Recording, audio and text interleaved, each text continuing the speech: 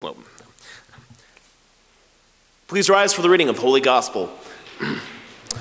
Our gospel reading comes to us from Mark chapter 1, verses 14 to 20, and it may be found on page 1063 of your Pew Bibles.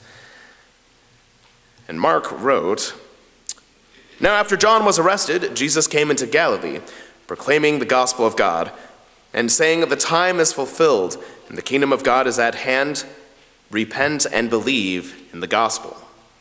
Passing alongside the Sea of Galilee, he saw Simon and Andrew, the brother of Simon, casting a net into the sea, for they were fishermen. And Jesus said to them, Follow me, and I will make you become fishers of men.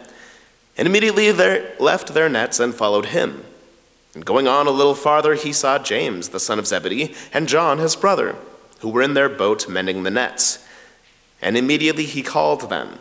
And they left their father Zebedee in the boat with the hired servants and followed him.